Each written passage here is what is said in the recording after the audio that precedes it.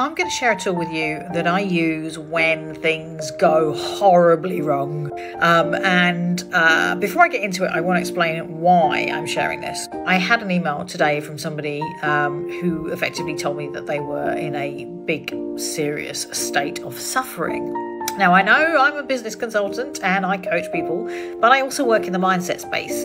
And a healthy mindset is crucial to a successful business in my books.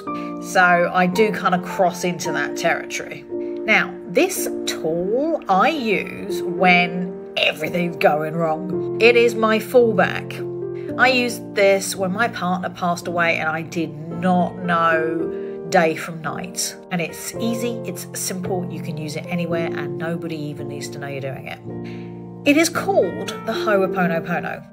Now, it's a little bit controversial. Um, there's a little bit of debate about it. It originates from Hawaii, but I'm going to leave that aside because I found it to be incredibly useful and I'm not going to get into the debate of that. But anyway, I picked this up from Tony Robbins and I also uh, learned this from uh, Joe Vitale, who ironically my partner who passed away in November was friends with.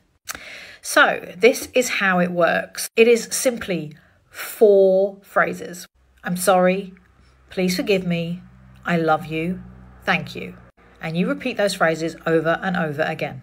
I'm sorry, please forgive me, I love you, thank you. Now, I'm not going to go into the mechanics of this, but it seems to have the power of healing like nothing else I've ever experienced it seems to speak to the atoms in the air in some way.